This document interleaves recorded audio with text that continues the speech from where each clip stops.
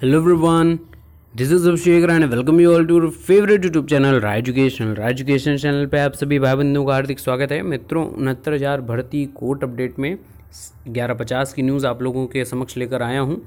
और present time की बात करूँ न्यूज़ है लखनऊ खंडपीठ की और एजी सर के आने की उम्मीद जताई जा रही है।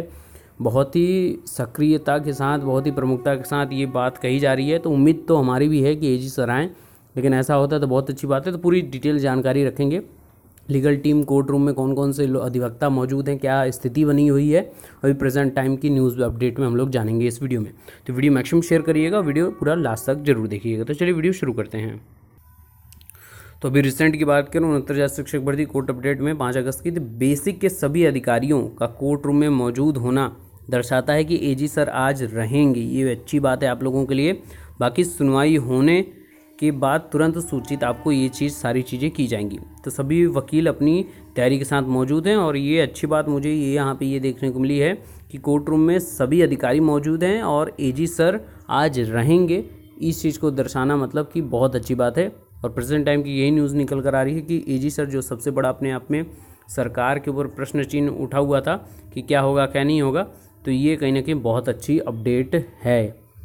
और प्रेजेंट टाइम की अगर मैं बात करूँ, अगर हमारे इर्द गिर्द, हमारे भारतवर्ष की तो आज राज्यसभा में रख दिया गया है मुद्दा 370 और 35 ए को हटाने का, उसको संविधान से दूर करने का। जिसके बारे में थोड़ी सी न्यूज़ देख लीजिए, जो एक भारतीय होने के लिए बहुत इंपॉर्टेंट है।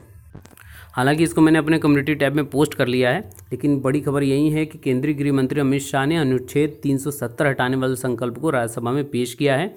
और उम्मीद है और आज के दिन बहुत ज़्यादा संख्या में लगभग तीन हज़ार आपके भारतीय सैनिक वहाँ पे मौजूद हैं और क्या हो सकता है रिसेंट की अपडेट यही है। उम्मीद यही है कि आज दो न्यूज़ बड़ी होकर निकल कर आए। एक ये 370 और 35 ए और दूसरा हमारा उनहत्तर भर्ती।